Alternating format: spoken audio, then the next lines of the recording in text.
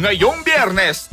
Dahil lang dito ang OG diva ng Singaling, dapat Singaling din ang kantahan. Ethel, ikaw muna pumindot. Your number? Anong your number? Cannot be completed. End your week with good videoke vibes kasama ang tropang Alam mo, alam kantawanan. nakakaluwag-luwag ka na.